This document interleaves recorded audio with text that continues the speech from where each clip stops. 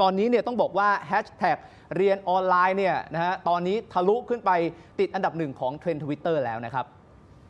กลายเป็นเทรนด์ทวิตเตอร์ของประเทศไทยทันทีนะครับสำหรับการเรียนออนไลน์ ก็เลยมีแฮชแท็กนี้ขึ้นมาแฮชแท็กเรียนออนไลน์นะครับวันนี้ทุกโรงเรียนในประเทศไทยเนี่ยเปิดให้เด็กๆ เรียนผ่านช่องทางทางไกลนะครับ ไม่ว่าจะเป็นทางโทรทัศน์ก็ดีนะที่เรียกว่าเรียนทาง on airแล้วก็ทางอินเทอร์เน็ตที่เรียกว่าเรียนออนไลน์นะครับ ปัญหาที่บอกว่าเจอมากที่สุดของแต่ละบ้านก็คือ คุณพ่อคุณแม่ต้องออกไปทำงานนอกบ้านครับ แล้วเด็กๆเนี่ยที่ต้องเรียนออนไลน์อยู่กับใคร อยู่กับปู่ย่าตายาย หรือผู้สูงอายุ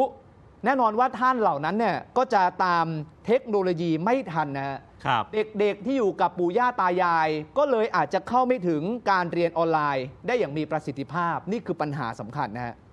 ส่วนบางบ้าน ก็มีข้อจำกัดเรื่องของเสาสัญญาณโทรทัศน์ เพราะว่าช่องทางที่เข้าไปเรียนทางช่อง DLTV เนี่ยนะครับซึ่งเป็นการเรียนทางโทรทัศน์ผ่านดาวเทียมทำให้ตัวเลขช่องของแต่ละระบบเนี่ยมันก็ไม่ตรงกันอีกนะฮะอืมผู้ปกครองก็สับสนอีกว่าเอ๊ะแล้วฉันต้องเปิดช่องไหนเนี่ยนะครับครับอย่างเช่นยกตัวอย่างช่องดิจิทัลทีวีแบบทั่วไปเนี่ยดูได้ทางช่อง 40 แต่ถ้าเป็นสัญญาณของ KU band นะฮะ จะดูได้ตั้งแต่ช่อง 186 เป็นต้นไปเนี่ยครับสับสนกันเลย หรือถ้าบ้านไหนใช้กล่อง PSI ก็ดูได้ทางช่อง 340 เป็นต้นไปนะฮะเนี่ยฮะทำให้ปัญหานี้เนี่ยมันสร้างความยุ่งยาก แล้วผู้ปกครองและเด็กก็สับสนด้วยนะครับ ทางบ้านที่หาช่องทีวีไม่เจอก็เปลี่ยนมาใช้วิธีเรียนทางอินเทอร์เน็ตนะครับครับก็เจอปัญหาอีกนี่เออ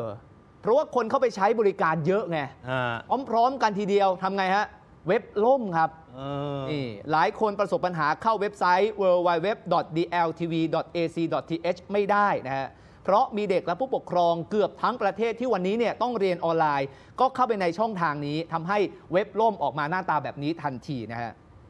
ขณะเดียวกันชาวเน็ตในโลกทวิตเตอร์ก็ออกมาเปิดเผยแบบนี้ครับว่า โทรไปเช็คที่สายด่วนกระทรวงศึกษาธิการ หมายเลข 1579 ได้คำตอบ กลับมาแบบนี้ครับว่า ทางกระทรวงศึกษาธิการเนี่ยกำหนดให้เรียนออนไลน์ ระหว่างวันที่ 18 พฤษภาคม ไปจนถึง 30 มิถุนายน อันนี้เป็นแค่การทดลองเรียนเท่านั้นครับเพราะทางโรงเรียนและคุณครูไม่สามารถเก็บคะแนน เข้าไปในปีการศึกษาที่ 1 หรือว่าเทอมหนึ่งที่กำลังจะถึงได้อืมเพราะกระทรวงยังไม่สั่งเปิดเทอม จะเปิดเทอมเมื่อไหร่ฮะหนึ่งกรกฎาคมครับนะฮะเพราะฉะนั้นการเรียน และการเก็บคะแนนจากการเรียนที่แท้จริงจะเริ่มในวันเปิดเทอมตามที่กระทรวงกำหนดก็คือ 1 กรกฎาคม หมายความว่าเรียนออนไลน์ เรียน on air ตอนนี้ก็เหมือนกับเป็นการเรียนซัมเมอร์ทดลองเรียนทดลองเรียนไปก่อนอืมนะฮะขณะที่บางบ้านเนี่ยก็มีปัญหาเรื่องอุปกรณ์ไม่พร้อม ต้องออกไปซื้อแท็บเล็ตเพื่ออะไรเพื่อมาเรียนออนไลน์ฮะนี่ครับดูแบงค์เหล่านี้เนี่ยถูกเก็บเอาไว้นะครับในกระปุกออมสิน ผู้ใช้ Facebook คนหนึ่งชื่อคุณสวรักษ์จันกนกเนี่ยโพสต์ภาพของน้องคนนี้ฮะน้องคนนี้เนี่ยถึงขั้นทุบกระปุกออมสินที่ตัวเองเก็บหอมรอมริบเงินมาทั้งหมดเนี่ยนะครับเอาไปซื้อแท็บเล็ตโดยใน Facebook ในโพสต์อันเนี้ยบอกไว้แบบนี้ครับว่าเขาว่าอยากรู้นะอืมว่าใครที่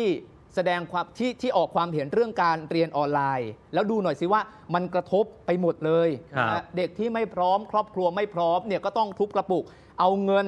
มาเพื่อซื้อแท็บเล็ตไปเรียนออนไลน์แบบนี้นะครับอืมเขาก็ถามเนี่ยว่าเอ๊ะซื้อโทรศัพท์เอาไปเล่นเกมเหรอเออเด็กก็บอกไม่ได้เล่นเกมค่ะ